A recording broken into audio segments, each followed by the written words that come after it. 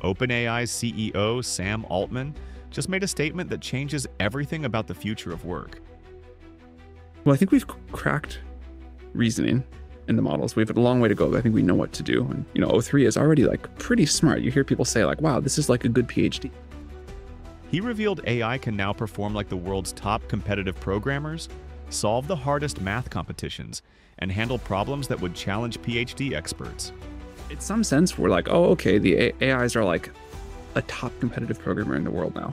Or AIs can get like a top score on the world's hardest math competitions, or AIs can like, you know, do problems that I'd expect an expert PhD on my PhD in my field to do.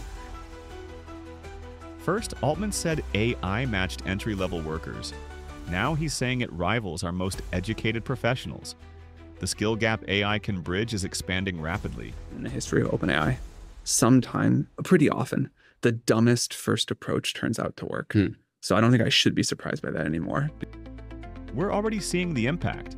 Graduate unemployment jumped to 6.1%. Computer engineering, graphic design, fields AI touches are hitting 7% unemployment. Experts warn half of all entry-level white-collar jobs could disappear. Companies like Amazon are already planning workforce reductions because of AI. Altman's message is clear. AI capabilities are accelerating beyond what anyone predicted. The workforce transformation isn't coming, it's here. Follow for the latest on how AI is reshaping every industry. Knowledge is your best defense.